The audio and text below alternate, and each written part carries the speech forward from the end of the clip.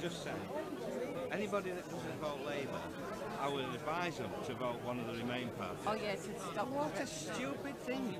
Absolutely stupid thing. And I mean, it just proves the man only wants to be Prime Minister, even if it's for a day, and he'll never make it. But I hope he never does. Yeah, but that's that's plain cunning politics. Underhand cunning politics. He's an idiot, absolutely. But a lot of them, But yeah, I've seen too much. I've gone through too much. Look, there's a huge amount of scaremongering that's going on from parts of the establishment who are looking for any excuse to stop this or to delay it. The instruction of the people wasn't leave subject to a deal, it was leave. Leave. It's not. It wasn't even Brexit. It's actually worse than remaining in the European Union. I want a clean, proper Brexit. All Let's be very clean- clear. What we need is leadership that is prepared to either negotiate a good deal or walk away. No deal, no problem, no money. We save 39 billion, we spend it back in the UK. Garbage in equals garbage out with these economic models. There's a wonderful opportunity as long as we leave the customs union, because that's crucial. We can then have a free port, Yeah, yeah, that's right. and free ports generate thousands and thousands of manufacturing jobs. If we have no deal, we're not going to pay 39 billion unless our negotiators are incredibly weak, and that actually really concentrates the minds of the European Union. Because if they haven't got 39 billion of our money, they are bust. Oh, come on. Let's be clear. We all know in business that no deal is better than a bad deal. Of course, it's true. Every business person knows that. And this is the worst deal ever in history. To pay 39 billion pounds for nothing guaranteed in return. Please welcome to the stage Richard Tice.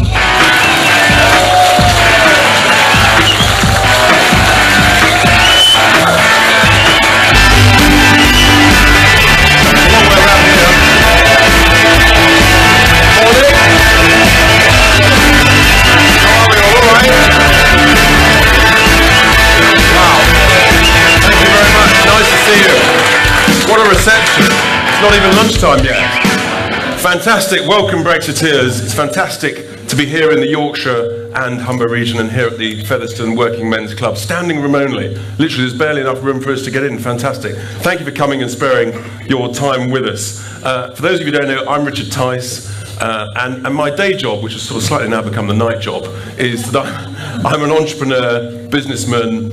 I've been involved in running businesses small, medium, and large. And yes, I used to be, for some time, a member of the the Conservative Party. I'm sorry, I'm sorry, yes. Do you know, I knew I'd get a really big boo that time. Um, but I did see the light and accepted the invitation to be the chairman of the new Brexit Party uh, a few weeks ago. And my word, haven't we been busy? Uh, it's less than five weeks. Um, feels a bit longer, I must say. We've been quite busy, but uh, less than five weeks since we launched. And we've had, you know, such a fantastic response um, and some really encouraging polls. You know, there's definitely something going on. There's a real sense of enthusiasm, a grassroots sort of groundswell of, of, of feeling that, you know, enough is enough. Democracy is being betrayed in this country, and we must not let it stand. So, um, we love a bit of technology and social media and, and, and films, so hopefully we can watch the launch video on the screen. if We have works. been betrayed. That is why I set up the Brexit Party. It's why we're going to fight the European elections on May the 23rd. And that is just the beginning of what is needed in this country. Democracy is under threat. And when politicians fail to deliver, there must be consequences. I was too young to vote in 2016, but now I support the Brexit Party because I believe in delivering on democracy. It's time to recognise that actually we are an incredible nation. This isn't about left or right. It's about standing up for our right to be heard. Successful, hard-working, so much to be confident, enthusiastic and optimistic about. That's why I'm supporting the Brexit Party. We are a single nation. We wish to remain a nation. They must adhere to the promises made to the people. Let's be optimistic. And for the benefit of our children and grandchildren, if you want a home and you're a Brexiteer, you join the Brexit Party now.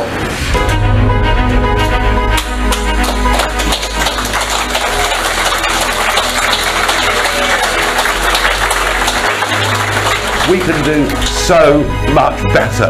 than currently we're getting from our members of parliament. We want to be an independent, self-governing nation, making its own laws, controlling its own borders, and being proud of who we are as a people. Join us, help us, support us, do what you can for us. We need change in this country and we need it now. Britain needs the Brexit Party and the Brexit Party needs you.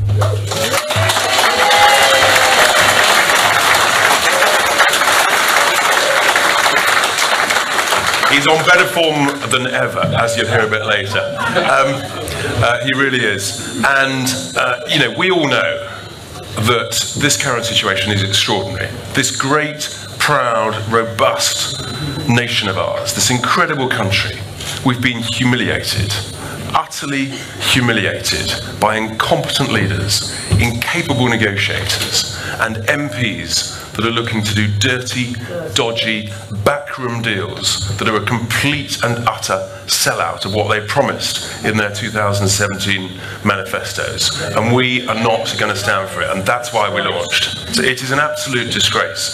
So uh, we've got to stop it. We've got to take on the vested interests of the establishment. We've got to take on the big multinationals and their lobbying groups like the CBI. We've got to take on the incompetence, the duplicity of the civil service. All these things need reforming so that actually the country is run properly by competent, capable people who can manage our economy, manage our country for the people. Because we've been so let down. In our country, we know we deserve so much better. And the Brexit Party, we stand, very simply, for simple, competent, capable, common sense politics. Because that's what will make a difference. We're doing well on the IT. Um, uh, that's what will make a difference. We've got to take on these vested interests. And we've got some great speakers, uh, our candidates from the Yorkshire and the Humber region this morning, uh, and you'll hear from them in a few minutes. Because what we're hearing from people up and down the country is a very clear message that actually the appetite for change you know, has never been stronger. The opportunity for change has never been greater. And that's what the Brexit Party stands for. We know with the quality of people that we've got, people that have never previously stood for public office, have said, actually, enough's enough. I'm going to do something about it. Now, is anybody here not a registered supporter? And that's a tough question. I'll ask it the other way around. Most of us, hopefully, are registered supporters. Hands up those who are registered supporters. That's a great showing. There's one or two of you still thinking about it. Waiting for my pension to come in. Waiting for the pension to come in. That's an excellent response. Hopefully, we'll be high up on your list for the following week. Um, but please spread the word because it is vital that everybody, all of us, all your friends, your family, your friends of friends, spread the word. Never before has it been more important to vote in these elections. We've got to send a very clear message back to Westminster. Leave means. Leave. I'm hard of hearing. Leave means. Leave. Thank you very much. We're just warming up. Um, it really is vital because we all know that Brexit is a huge opportunity. And yet we're the only party that is selling it as such. It's an opportunity to be embraced with enthusiasm, with optimism, with ambition. The opportunity to renew the regions, invest in the regions so that we can grow our economy faster, smarter, more wisely. All of these things are possible with confidence, with belief, with leadership not something that's very prevalent at the moment. Um, so we need to send that very clear message back to Westminster, and we need to send it on the 23rd of May with a huge, resounding vote for the Brexit Party, because we stand very clearly for a WTO Brexit. And if we win and we win well, then that should absolutely knock on the head all this nonsense about a second referendum. And not only do we stand for a second referendum, ladies and gentlemen, but we are making it very clear that we want our elected MEPs to play a significant role in the future negotiating team. There is nothing more clear than to have our elected representatives with a direct, current mandate from the people to go and sort this out. Westminster have had their go, they made a complete shambles of it, and we've had enough. Do we believe in Britain, ladies and gentlemen? Yes. Do we believe in democracy? Yes. Excellent. We're all on the same side. Good. Um, so to my first speaker, uh, who uh, has been involved in businesses for, for many, many years, and uh, he ended up being a Director General of the British Chambers of Commerce. And he had the cheek, when he was supposed to recommend to vote Remain, he actually stood up and he said, actually, uh, at their conference, he said, you know what, we should leave. And uh, as a result, over that weekend, he was fired from his job. Huge courage, but a classic case of the establishment saying, you've done the wrong thing, you're out. Um, he's been a passionate campaigner for uh, the Leave cause ever since. He was co-chair with me, is co-chair with me, of the cross-party campaign group Leave Means Leave, and it's fantastic to have John, uh, he's Yorkshire through and through, to have him as the, uh, the candidate uh, for this region, the lead candidate for this region. Please welcome to the stage, John Longworth.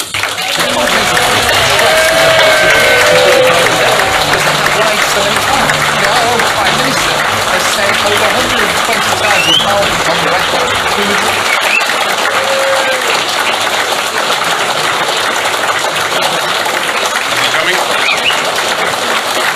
not normally reticent. trust in the politicians is completely broken down because they have lied so many times. I mean, our own Prime Minister has said over 120 times in Parliament on the record we would leave on the 29th of March. Look what has happened. If you use the 39 to be able to cut taxes, to be able to invest in infrastructure, you remove tariffs selectively on things that we do not produce ourselves to reduce the cost of living and give people more space. There may be a problem in terms of parliamentary numbers, but the British people voted for Brexit, and the Conservative Party will suffer very badly for letting the British people down and actually breaking their own commitments in the manifesto. Please welcome to the stage, John Longworth.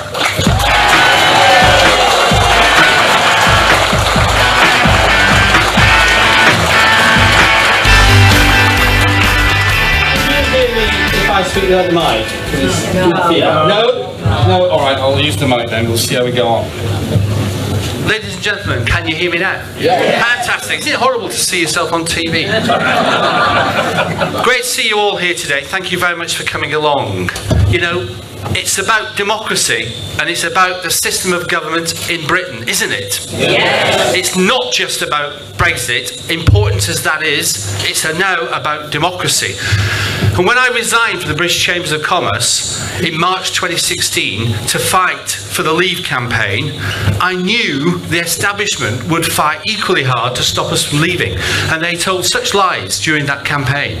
But even afterwards, I carried on fighting because I wrote an article in March 2016 in the Evening Standard saying that the establishment are vicious in pursuit of their own narrow vested interests. And so they have proved to be. And do you know, we didn't just win by half a dozen votes, did we, that referendum? 1.4 million votes.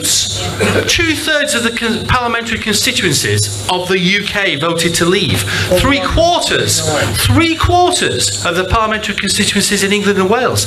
If Leave had been a party in a general election, that would have been a landslide victory. And yet, the Liberal Anti-Democratic Party, whose leader was a European official and whom we trusted with tuition fees, have done everything possible since that referendum to stop us from leaving.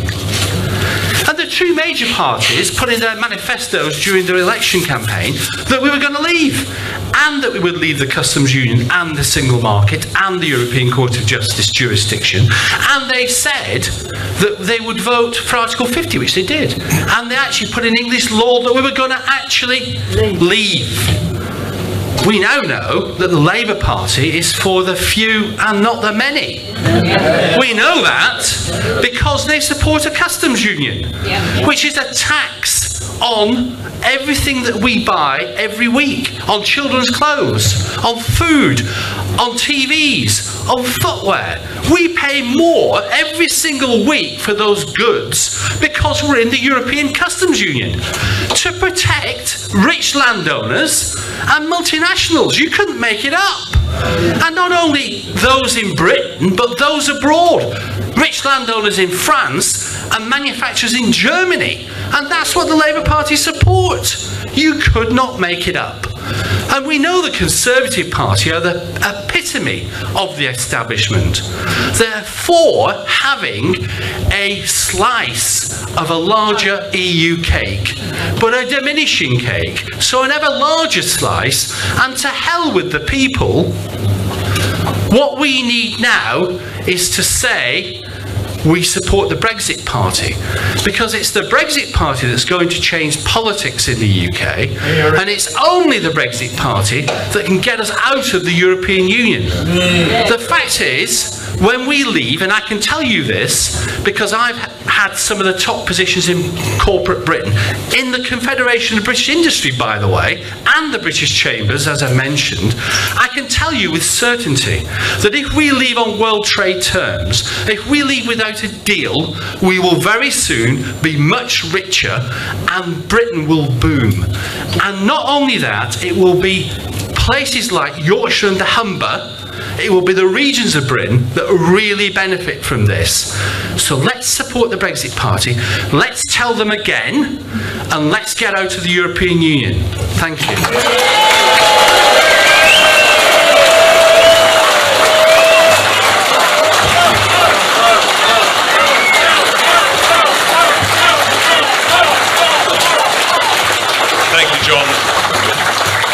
John has done sterling work for the cause, and it's fantastic to have him as, uh, as a candidate. And so to our, our second speaker, uh, again, someone who's lived in uh, the region for over 20 years, uh, been in Beverley for many years. Uh, he's been campaigning. Uh, he's been campaigning for, for many years as a researcher, working on policy against the European Union, but also that actually our taxpayers' cash is spent more wisely and smartly. It's fantastic. It, it's incredible the courage of someone like Andrew. Uh, he never previously thought that he would actually stand as an MEP, but eventually he just said, I've got to put myself forward. I've got to take all the grief and the nonsense that comes with it because he just couldn't stand it any longer. And that's the same for all our candidates. You know, the bravery that they show, you know, because it does come with a bit of grief when you put your head above the parapet. Um, but please give a very warm welcome to Andrew Allison. Please welcome to the stage, Andrew Allison.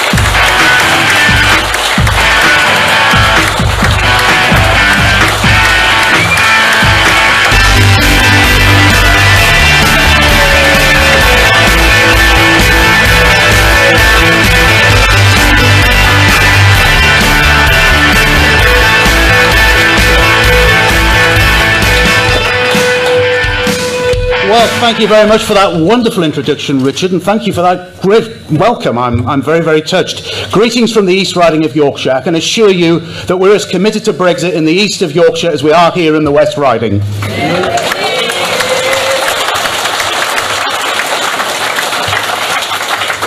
We've just had a fantastic walk around in Pontefract this morning with Nigel. We've parked our tanks on Yvette Cooper's lawn.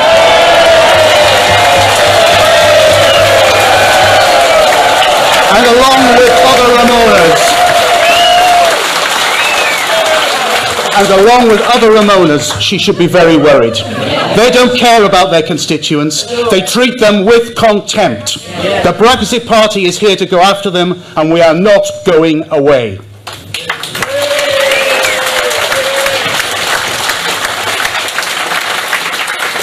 Now, during the referendum campaign, March 2016 to be precise, the Education Secretary at the time was one Nicky Morgan. Oh, come on, you can do better than that. And she said that those who are considering voting leave in the referendum should think about their children and their grandchildren's future. Exactly. I was fuming at the time because my wife was pregnant and our son was born on the 19th of June, just four days before the referendum. And one of the reasons I was campaigning to vote to leave was because I was thinking about his future. His future as a citizen of a sovereign country outside the clutches of the anti democratic protection racket that is the European Union.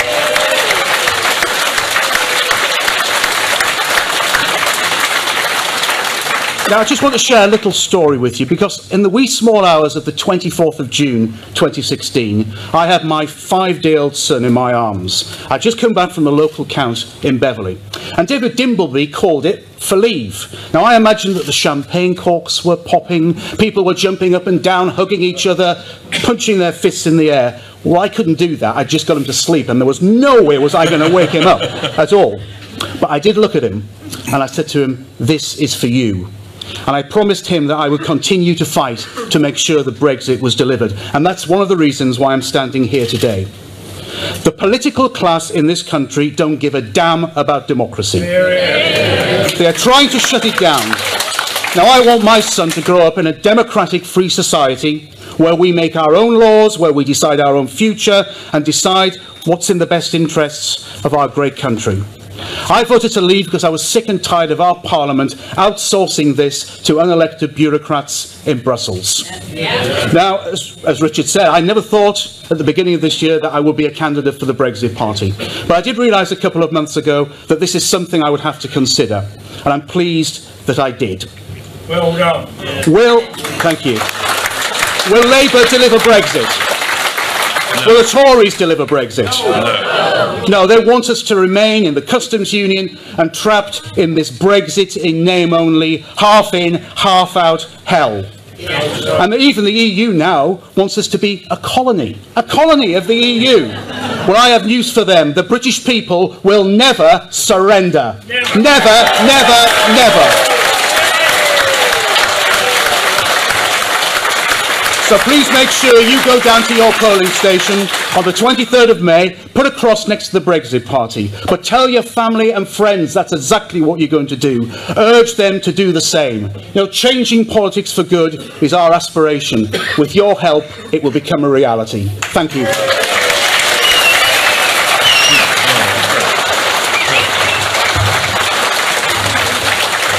Isn't it great? Fantastic to have people of Andrew's courage and knowledge as part of the Brexit Party because we really can change politics for good. We're not messing around here. That is our aspiration. And we know that with hard work and with your help and support, spreading the word, we can do it. And to our next speaker, someone who's had a number of sort of phases to her career. she started, she warmed up with 23 years as a Member of Parliament for a party I won't mention because it didn't get a very good response first time. Um, but that really was just her warm up phase. Uh, then she realised. She's seen the light. Then she saw the light and realised actually we needed some education about dancing. so, so she became. She went on to Strictly Come Dancing, and not content with that, because she's an absolute inspiration to us all. She then realised that actually her presence was needed on Celebrity Big Brother. but even that was just a warm up for this, the biggest battle of her career. It's fantastic to have as a candidate uh, for the Southwest, actually, but here today speaking to us. Before we welcome Anne Widdecombe to the stage, let's just see her on the video on the screen.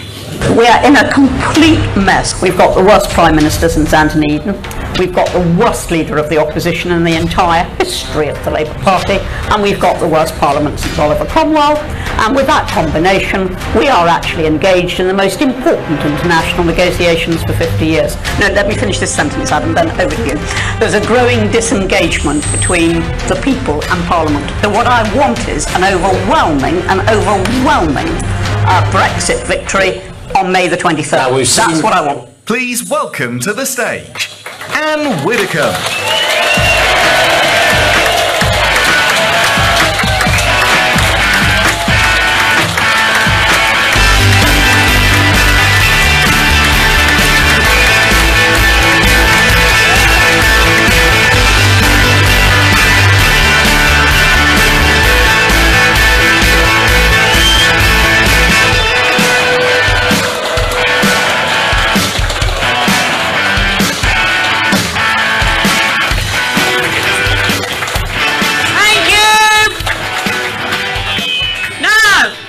Widdecombe. ask you a few questions. Do you think that we can control our own laws and remain in the EU? No! Do you think we can control our own borders and remain in the EU? No! Do you think we can control our own trade and remain in the EU? No! And finally, do you think that we can be governed by our own democratically elected government and remain in the EU? No! Well, those four no's are the reason that Britain voted to leave.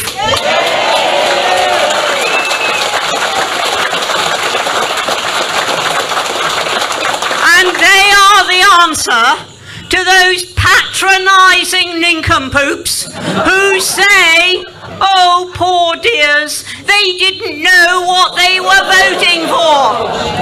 We knew exactly what we were voting for.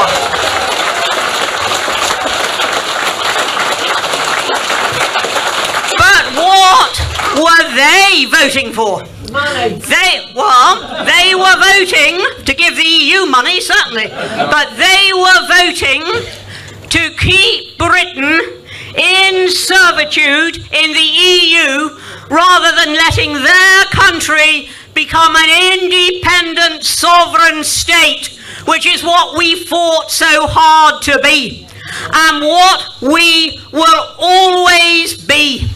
And that is why we voted Brexit. Now, we've just heard Mr. Verhofstadt say that we are a colony. Oh, but just remember this about colonies they have this little habit of rebelling. just ask America. So, he may think we're a colony, but in 2016 we decided that that was what we would no longer be. And we were promised by politicians of both parties, by the way, they tell me today that we're in the Labour heartlands. no, we're not. We're in the Brexit heartlands.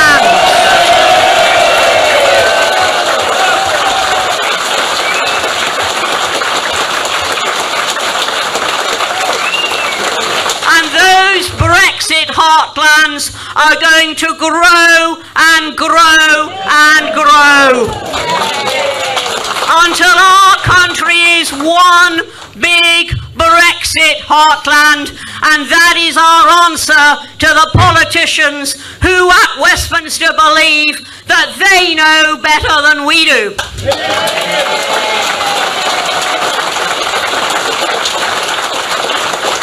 We have betrayed by both major political parties at Westminster, both of them. And you know what I really enjoyed during the local elections? It was the expression on Jeremy Corbyn's face as he realised that he wasn't going to benefit from all the fudge and that actually his own supporters were giving him the same message that former Tory supporters were giving the government, which was, we expect you to deliver. And so that was the moment when Theresa May really had her chance. When Labour realised that they too were in trouble, that was the moment when she could have said, Come on, Jeremy, we've simply got to do this. Instead of which, what did she say? Oh, do you want a customs union, Jeremy? Certainly. Oh, Jeremy, do you want us to be aligned to the single market? Certainly. Oh, Jeremy, you want us to bow to EU law? Just tell me how much law you want, Jeremy, and I'll give it.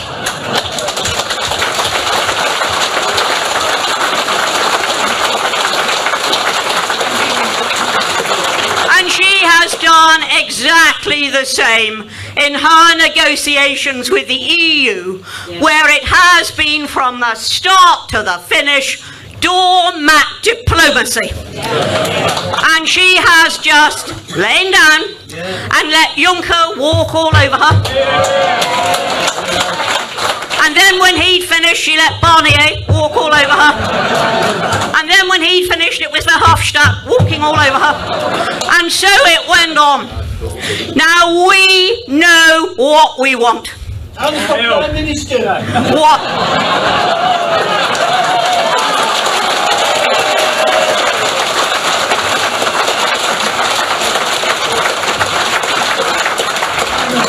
Nigel, what, what we want is a proper break from the European Union. And if we are not offered that break, if they do not let Britain leave, we will make them leave.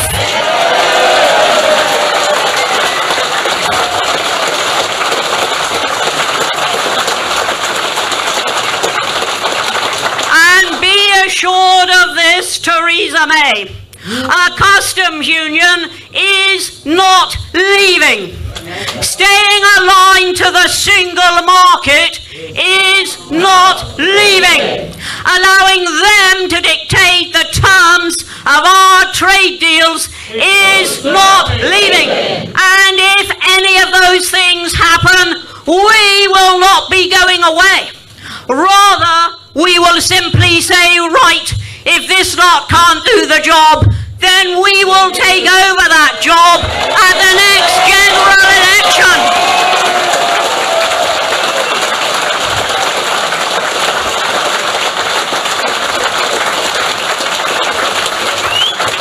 This party has only been around for a few weeks, and already we have 34% of the opinion poll.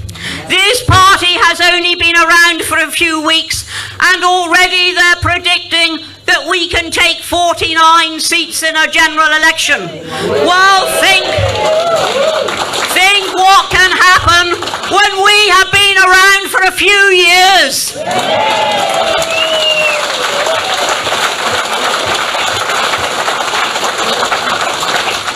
Our message to the politicians of Westminster is very clear. Either give us a Brexit which is a Brexit, or just recognise your time is up.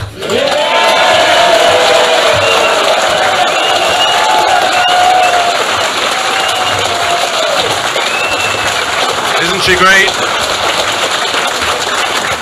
She's a star, a real inspiration. I promised you she was just warming up, and I think you've just heard that. Phase three of a long career.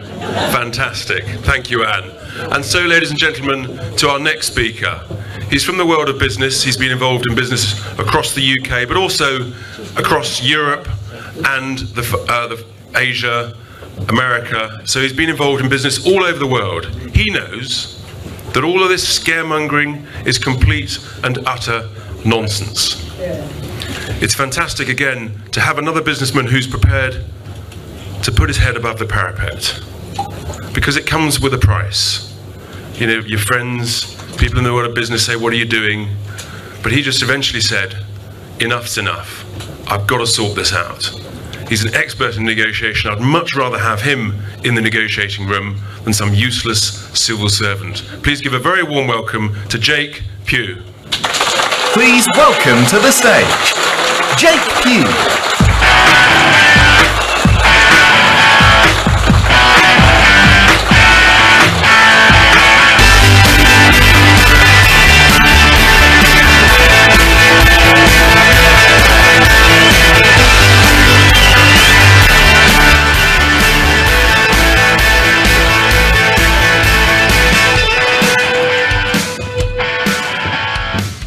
Hello. Um, I was just before I came on. I was introduced to Chris and Sam at the back, and they said, "Follow that."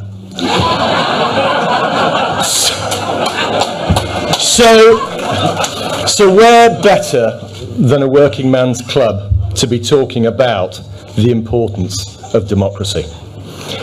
I'm standing before you and I'm standing in Yorkshire and the Humber because I believe democracy is more important than mine or anybody else's political views.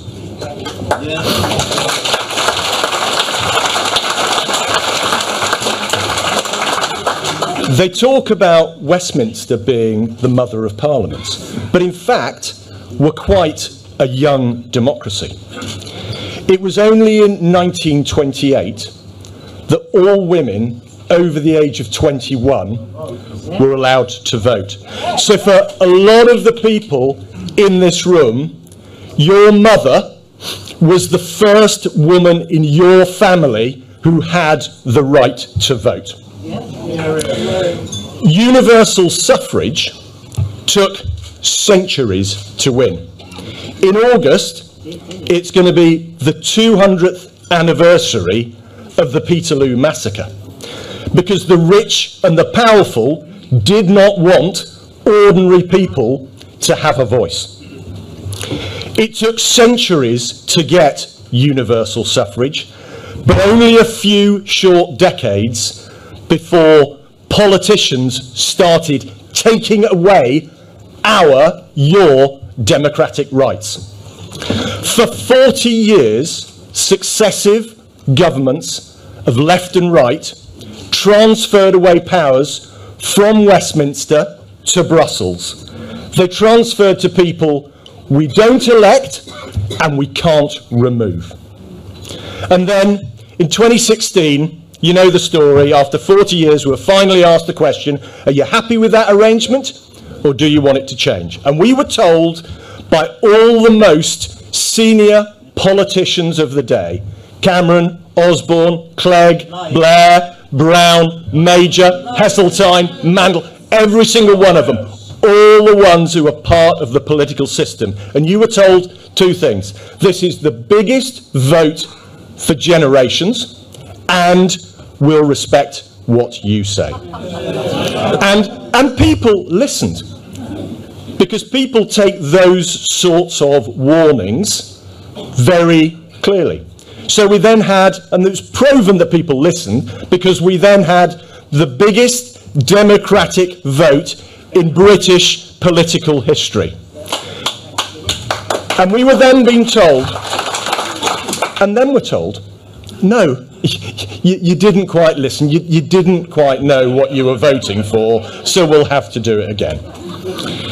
So, we demand the full repatriation of all those democratic rights back to the United Kingdom. But why? Because it is only through democracy that you hold the powerful to account. Whoever you are, rich, poor, old, young, those with advantages in life, privileges, those without a voice, you count the same as the richest, the most powerful, and the most connected. And that is the essence of our, of your British democracy.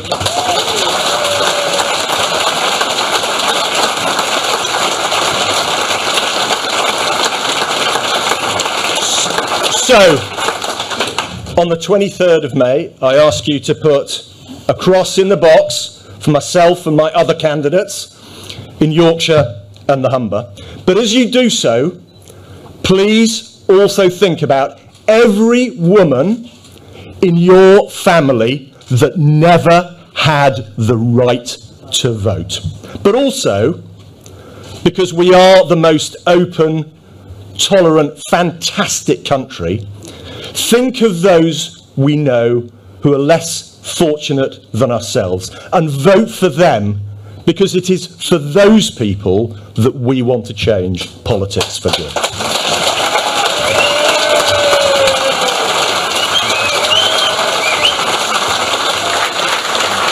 Thank you, Jake. Thank you. Just the sort of person we want against Barnier and Verhofstadt and those dreadful sort of people. And, and so to our next speaker, She's had a varied career. She very nearly became a professional opera singer. She may or may not, you know, sort of sing today, but um, she's also been a fishmonger for about five years. So she knows the real thing exactly. She knows the opportunities for the fishing industry in this country. But now she is, she's been passionate about the Eurosceptic cause. She's been campaigning for it for a couple of years really hard. She's been setting up groups all over the country. It's fantastic to have Lucy Harris here in the Yorkshire region as a candidate. Please give her a huge welcome to the stage. Lucy Harris. Please welcome to the stage, Lucy Harris.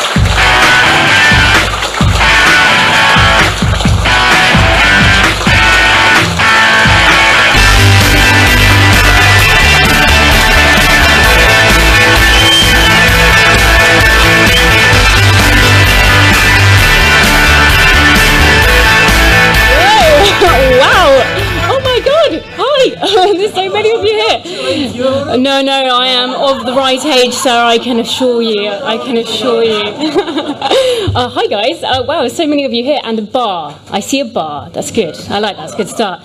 So, um, as Richard said, I've run a national campaign across the UK now, building social networks across the UK, trying to get people talking about Brexit, trying to keep the spirit of when you woke up that morning and we felt that we were going to leave. Do you remember it? I remember it. My God, it was shocking. It was amazing. It was exciting. And that's why we have to keep it alive, which is why I've set up groups across the country where they can socialise, talk, have a drink, and just keep that conversation going. And I can see a few people in the crowd that are part of many of our groups in the room. So thanks, guys, for coming. um, so, yeah, I mean, it, um, you know, I've been around. I've been around um, Yorkshire. We have groups in Scarborough. We've got groups in Leeds, um, and I've met so many of you. And I can tell you, you are fantastic characters. You've got so much to say, so many experiences, and so many histories. And it's been touching that you've let me in, and I've seen what Yorkshire is, and it's fantastic. So thanks for having me. And this is a stark difference. All these inspirational people who are willing to move their butts to get stuff done. It's not like that down in Westminster. It is not.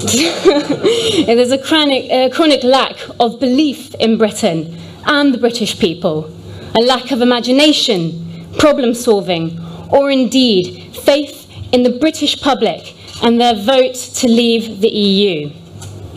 But not only this, ordinary voters have been stereotyped and malevolently misjudged as racist and stupid for having voted Brexit. It is a tactic to keep us quiet over a legitimate political stance. Now, I have been told from people across the country, working in offices, schools, hospitals, that they haven't been allowed to go to meetings, or, in fact, they get insulted at workplaces, or even worse, that their friends and family do not speak to them anymore for having voted for Brexit. It is, there is a national fear of societal rejection for having voted for Brexit. And I don't like that. I feel that we should be able to express ourselves. I feel that we should be able to say what we want in, in, in respective of our political views. What I've learned from meeting all of you and going across the country is that we're all extraordinary people, especially here in Yorkshire. um, we're wanting a fair hearing. We're wanting to be understood.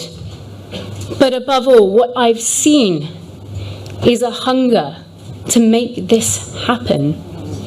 The skills, the drive, the encouragement, the vision. So many of us out there ready and willing to make Brexit work, to restore democracy, and demand politicians do what they say on the tin. Now, this is not about left or right. It is about right and wrong. And it is wrong to bully communities into accepting the EU's agenda. It is wrong to demonise ordinary people, indeed, the majority of people, for practicing their democratic rights. But above all, it is wrong to deny the most colossal democratic vote this country has ever seen.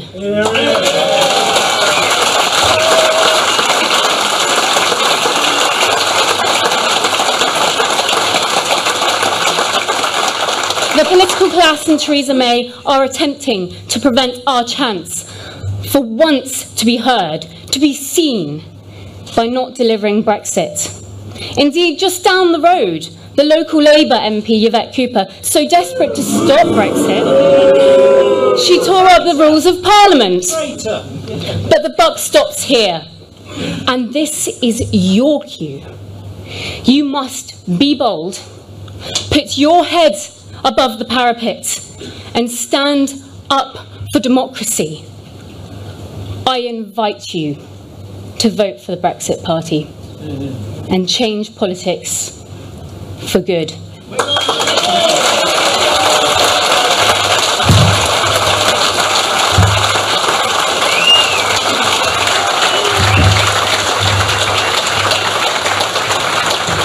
Thank you, Lucy. She's a fantastic campaigner, a real advocate for Brexit. It's great to have her as a candidate. And so to our penultimate speaker today, slightly drawn the short straw uh, before Nigel, but uh, another person from the world of business, and again, been involved in business for decades in the UK and across the whole world. He knows what a huge opportunity Brexit is for our economy, for our businesses, small, medium, and large. But he was brave enough also to say, I've got to do something about this. It's an outrage. I'm going to put my head above the parapet. He works in the software business. He knows about the opportunities. It's lovely, great to have him on board. Please give a huge welcome, Christopher Barker. Please welcome to the stage, Christopher Barker.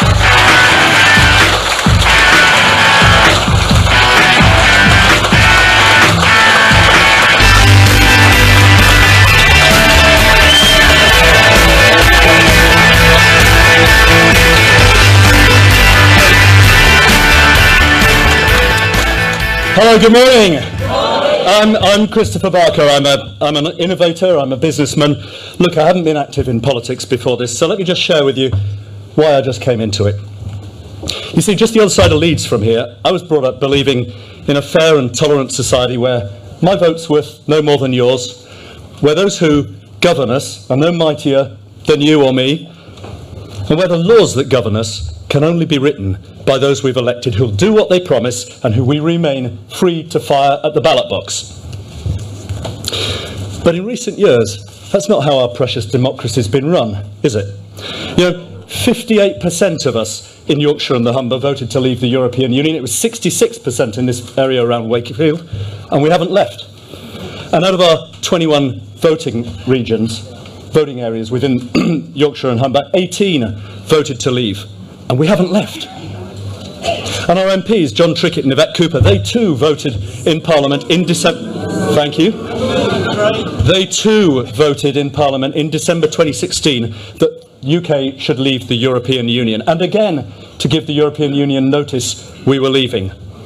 All just in time to make us think that they were on the side of the good folk of Hemsworth and Normanton, Pontefract, Castleford, so that they could get re-elected. And then they both voted that EU law should stay supreme over our own law, even after we'd left the EU. They both voted to keep us in the European single market. That same system of trading regulations we'd expressly been told we were leaving. And last year, they voted against us leaving the EU at all. In March just now, they voted that we mustn't leave the EU without first agreeing to a withdrawal deal. Do you know, any competent negotiator can tell you that if you say to the other side, we won't walk away from this table without a deal, what you're saying is, name your price for us to get out of here. And, and guess what Monsieur Barnier has just done? And now, just last month, they voted for a permanent, comprehensive customs union with the EU. In other words, a new treaty permanently preventing us from making our own trade deals except on Brussels terms. What kind of a free country would that be? Is that what you voted for when you put your tick? Leave the European Union? And our MEPs, perhaps, both the recent Labour MEPs, once just stood down in Yorkshire and the Humber, campaigned against Brexit. All six Labour candidates in this European election in Yorkshire and the Humber are actively campaigning against Brexit. Yes, all six of them. I won't get what we did. and when we tell these cynical career politicians that they're not listening, what do they say? They arrogantly declare that if we really meant what we said in answer to the question they promised to follow through, we must be populist. Populist. Well, we say to them, when you stopped respecting the popular will, you just lost the right to represent us. We're coming to the ballot box, and you lot, you're on your way out.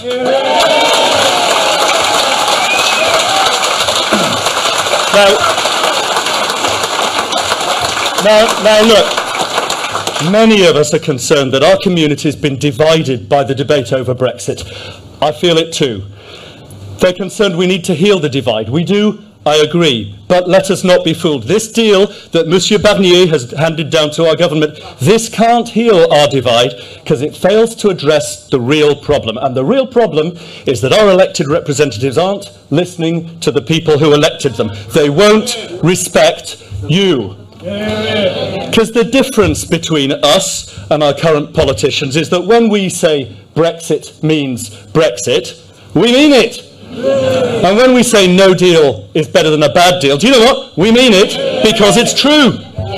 And the difference between so many decent, hard-working, caring former Labour supporters and the party they've voted for before is that they too believe, with us in the Brexit Party, that in a democracy worthy of the name, our legislators must do what they promised when we elected them.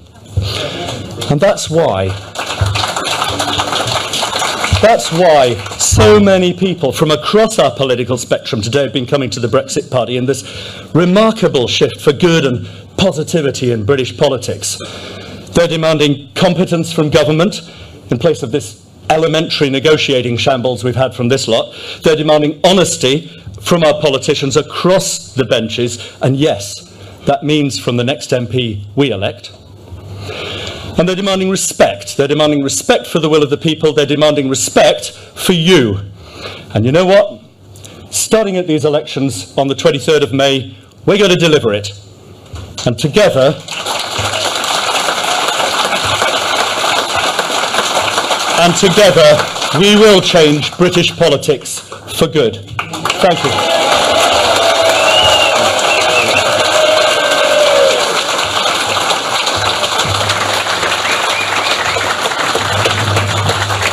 Christopher. Again, we're so lucky to have someone with his experience and his knowledge with that very simple mantra that we all know. No deal is always better than a bad deal. It's basic common sense. And yet, just a few weeks ago, the head of the civil service wrote to all the civil servants and said, stop no deal planning. That says it all, ladies and gentlemen.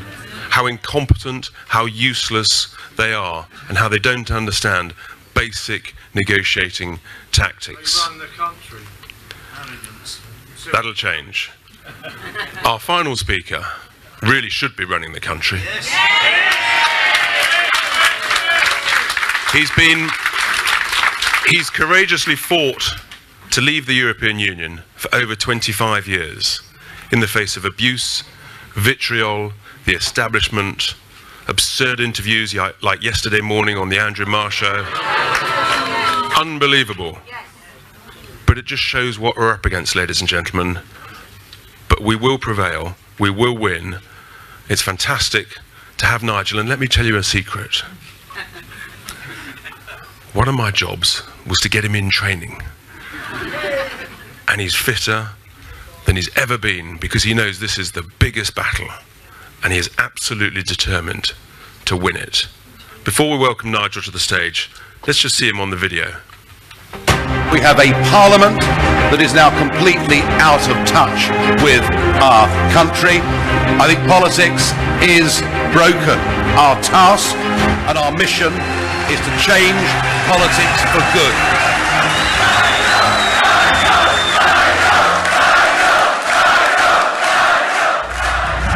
The Brexit Party has been formed because, very simply, the government and parliament do not wish to deliver Brexit. We are fighting back. The whole of our politics needs changing. The two-party system doesn't work anymore. If they thought we were going to give up, they've got another think coming. This country needs the Brexit Party, and the Brexit Party needs you. Thank you. Please welcome to the stage, Nigel Farage. How we doing? All right.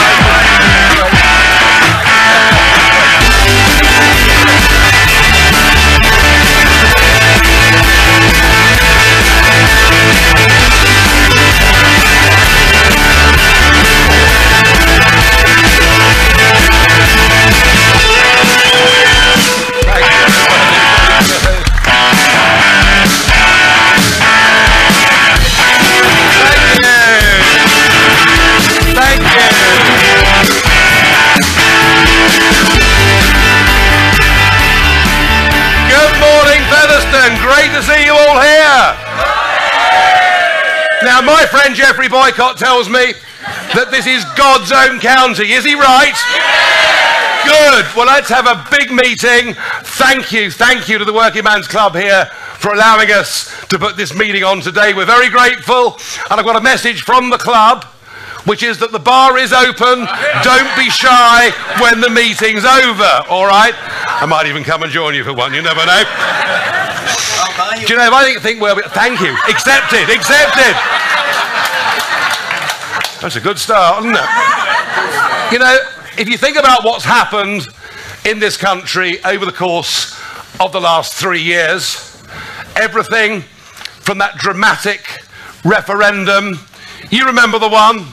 The one where we were told that if we dared to vote, dared to vote to become an independent country, dared to vote to become a proper democratic nation, dared to vote to make our own laws, to choose our own relationships around the world, terrible things would happen to us. Remember that Chancellor of the Exchequer, George Osborne? Taxes would go up. Half a million jobs would be lost. I mean, they were so desperate to get us to vote Remain, they even dragged over President Obama to tell America's oldest and best ally in the world that we go, do you remember, to the back of the queue. And we had much the same from nearly all of the Labour Party that it would be a disaster, a catastrophe, and despite it all, we voted by a big, clear margin to take back control of our own country. We won! At least. At least we thought we'd won. And in many ways, we had every reason to believe that we had. After all, that nice Mr. Cameron, remember him? Sent a leaflet, didn't he, through every door in the country. And that leaflet said that we will respect the will of the people. Struck me that was a contract. I sent mine back. I sent mine back. I walked up Downing Street and put it back through his door. How about that? I did. And then we had, of course, a general election a year later in which the two big parties, although I've got a feeling they're not quite so big today, are they? But the two big parties both promised us in their manifestos that they would honour the result of the Brexit referendum. And then 498 MPs passed with a majority of 384 voted for Article 50. And what did it say? It said, we are leaving the European Union at 11 p.m. on the 29th of March 2019. And here's the next bit because it went into law with or without a withdrawal agreement. And what has happened? Here we are today, and I can't think of a better constituency for the Brexit party to visit than here in Pontefract and Castleford. I can't think of a better one. Because 70% of you in that referendum voted to leave. And the next year, your Member of Parliament, Yvette Cooper, made a series of promises to you. She promised she would respect the vote, and she boasted to you that she'd voted for Article 50. Yet, despite all of that, I cannot think of a Member of Parliament who has done more in the last two years to stop us leaving the European Union. And she now, she now, all right, there are some that might be worse, or I give you that. But not many, and none in a constituency where 70% voted leave. Of all the constituencies in this country, you have been betrayed worse than any other group of people.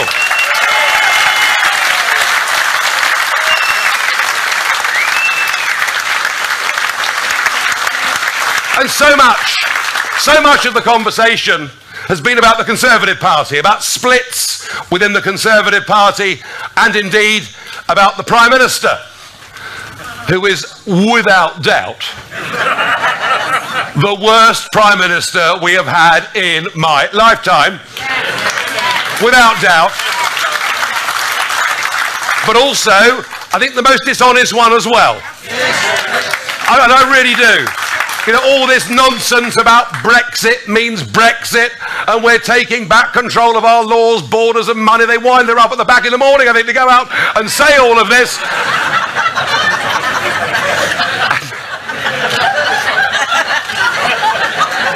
and then she presents what she calls her deal to the House of Commons, and it's not her deal. It's a document drafted by Monsieur Barnier with Angela Merkel looking over his shoulder, and it's not a deal. It's a new European treaty. And Barnier walks around with it, leather bound under his arms, calling it a treaty, and yet in this country they dare not use the word. The truth of it is, the truth of it is that we're being asked to leave one European treaty to sign up for another European treaty, which in some ways is perhaps even worse than the situation we are currently in. And that is why, that is why three times it's been rejected in the House of Commons. And of course, we see the Chancellor of the Exchequer, Philip Hammond, and a, a bunch of other insipids in the cabinet who basically are all Remainers and want to give us want to give us a Brexit that is simply Brexit in name only. But there is too little focus in this country about the role of the Labour Party. Corbyn may try to play this ambiguous game where he sits on the fence and pretends they respect Brexit, but they want a Labour pro jobs Brexit. But the truth of it, and you've heard it already from this platform, is that nearly every one of the Labour candidates who are standing for this European election are Remainers. Nearly all of them want a second referendum to overturn the first, but it's worse than that. It's worse than that because the Labour deputy Tom Watson and now their shadow Brexit spokesman Sir Keir Starmer are now pushing, and it is Labour leading this, they're now pushing for what they call a confirmatory referendum. Doesn't that sound nice and soft and fluffy? What earth, earth could be wrong with a confirmatory referendum? Well, I'll tell you what's wrong with it. The choice they want to give us, this is being pushed by the Labour Party, the choice they want to give us is to stay in the European Union on current terms or to accept the new treaty with the add-on of permanent membership of the customs union and effectively continued membership of the single market. That is the choice. That is the choice. That is the choice they want to put to the British people. They want to use a second referendum to deny us even having the opportunity of voting for a clean break Brexit. And guess who was voted for this appalling formula? Yes, your Member of Parliament, Yvette Cooper. So that is where we are. Labour have done in many ways more to betray their own Brexit voters even than the Conservative Party have done. And this is a message they need to get. Because here in the north, in the Midlands and in South Wales, traditionally areas that ever since 1918 have been Labour strongholds, they are letting down the five million of you that voted for Brexit. It is an Islington, North London Labour Party that I no longer think represents parts of the country like this. That's my feeling.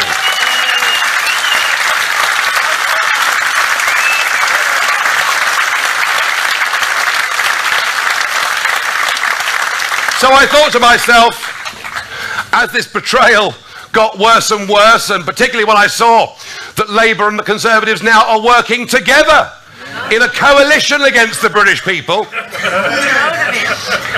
I thought, what should we do? We've got two choices. One is that we give up. One is that we give up. One is that we roll over and say, we had our bit of fun, but let's just accept the fact. We're going to stay part of an emerging United States of Europe with its developing army and all the rest of it. One option would be to give up. But I thought to myself, I'll be damned if I've spent 25 years fighting for us to be free and not to stand up.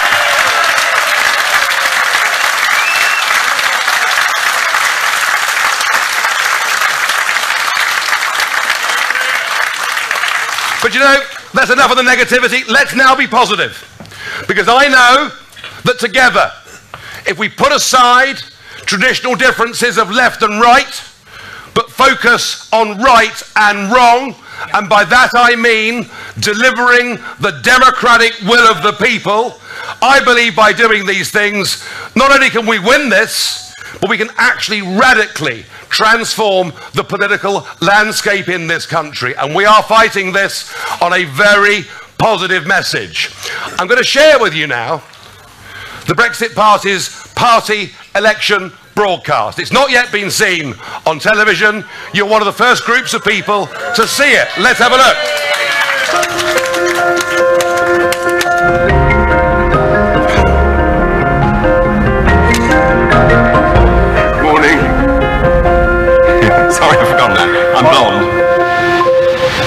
Can you my nose off?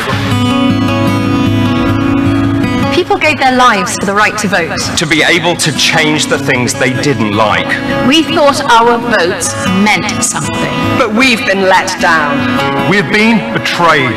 Our country has been humiliated by politicians. Those who we trusted with our vote. We deserve so much better than this. Politics is broken and our democracy is under threat. Enough is enough. It's time to change politics for good. That's why I'm standing. That's why I am standing. I am standing. I am standing.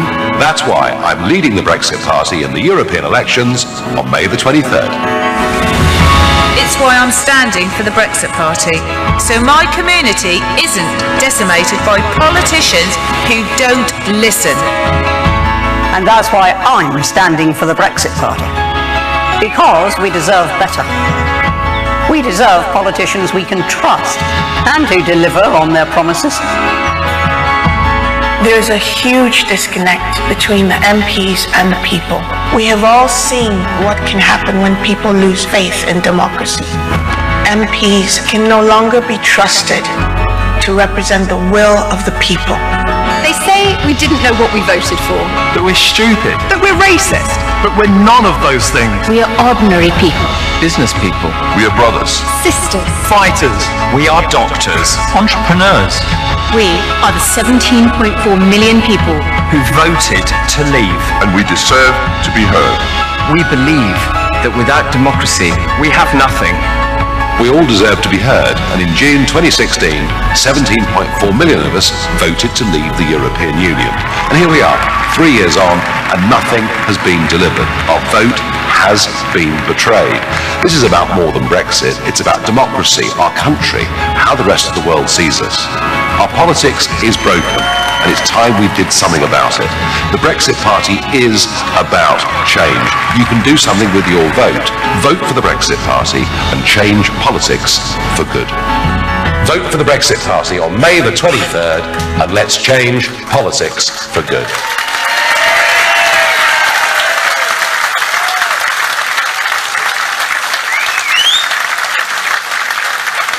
I hope that you agree with me that our message is positive and it's uplifting. Our message is that we can do so much better as a nation. Our message is that democracy forms the bedrock of our society, and without it, we will be diminished as a people, diminished as a nation. Our message is that no longer are we prepared to see our great nation humiliated in front of the rest of the world? It's time we stood up, stood tall, proud of who we are, and able to start forging our own fresh relationships around the world. And we believe in this party that the 2.4 billion people that live within the Commonwealth would be a very good place for us to start. We really, really do.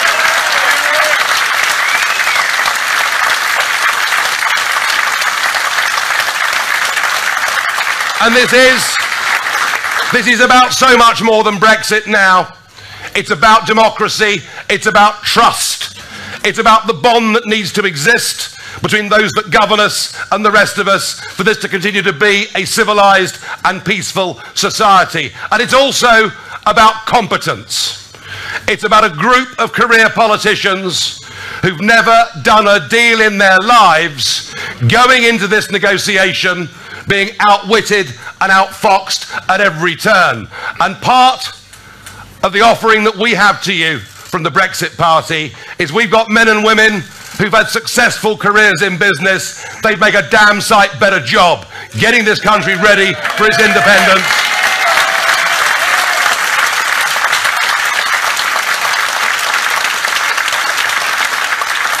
But it's also, in the longer term, about a two-party system that doesn't work anymore. A two-party system where our politics is broken. A two-party system that now appears to serve nothing but itself. We need fundamental, radical change and transformation in the way we do politics in this country. Never again, never ever again can a great democratic exercise by the people be betrayed by the will of Parliament? And we're going to fight on through May the 23rd and on to make this a better, more democratic nation. Thank you. Thank you.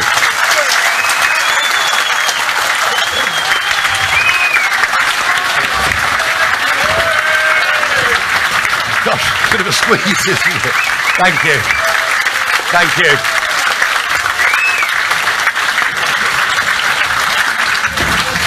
I did promise you that he was just warming up. He is back, ladies and gentlemen, and we are going to win. Now, we've just got time for a few questions, and just to give Nigel a breather, got a question here for Ann from Pat from Normanton. And do you agree that civil servants have too much influence in Parliament? Well, yes, but the job of the civil servant is to serve the government of the day. That is the job. And the job of a civil servant is to do what he is told to do by the government, not what he thinks it might be a good thing to do. But under Theresa May, her own Brexit ministers have been ignored in favour of Olly Robbins, who's never been elected to do anything.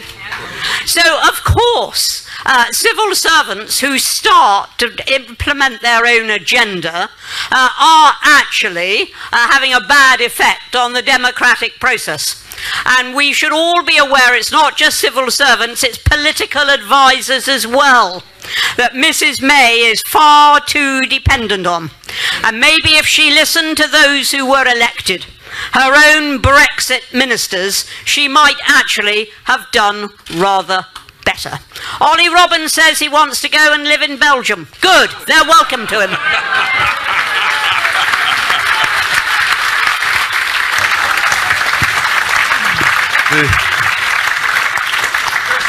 Remember, yes, Minister used to be on the telly. It did indeed. It did indeed. And what is absolutely clear with Ann is you always know where you stand. No nonsense. Um, a question. We can still have a bit of fun, can't we? And what better place than a working man's club to ask Nigel, what's your favourite beer? Wow. Well, truth of it is, I do like a pint, and, and I've got a free one coming in a minute, and that's a very good one, isn't it? I've um, actually, as uh, the chairman said earlier, um, although I'm quite well known for liking a pint, and indeed I've never ever been photographed in public without one. uh, the truth of it is that uh, this is by far the biggest and most important campaign that I've ever fought. In fact, I feel we as a country, politically, have ever fought. And as a result of that, I'm almost completely a reform character. And so I'm pretty much off the beer, I'm afraid. But I'll be back on it when we leave the European Union.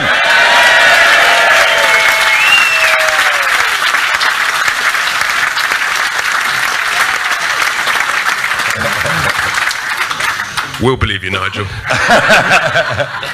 um, a question for Ann. Um, Mike from Bradford. What options will be available if the Prime Minister and Jeremy Corbyn come up with a dodgy deal? Well, first of all, they're very likely to come up with a dodgy deal uh, because neither shows any sign of actually wanting to deliver a straightforward Brexit. So the first thing is it's quite likely to happen. Uh, and if that happens, then, as I said earlier, we will not have left the European Union. And if we don't leave the European Union, then the Brexit Party is not going to go away. We're going to fight the next general election, and we're going to sweep the traitors out of Westminster.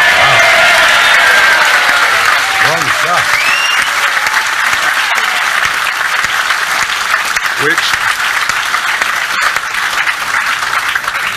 which very neatly brings me on to the last question from Alison from York for Nigel. So, if we go to a general election, will you put forward sensible policies to prevent people from voting for Labour or the Tories? Yeah, look, we will. And I've been asked about this again and again and again about domestic policy. And my answer is very simple. Next Thursday, we are fighting a European election just three years after we voted for Brexit. So let's talk about European issues. Let's talk about democracy. Let's talk about what's happened to the will of the people. Thereafter, of course, we're going to put a full slate of, policies up before the British public political reform, more help for the regions, scrapping of ludicrous projects like HS2 is just a hint. Wow, that's popular. Oh, wow. I don't need to do any market research on that policy then, do I? and we will put up a full slate of policies. But you know what? I'll never call it a manifesto, and I'll tell you why. That word manifesto, in my mind, now equates with lie, because that's what we've had from Labour and Tory for years.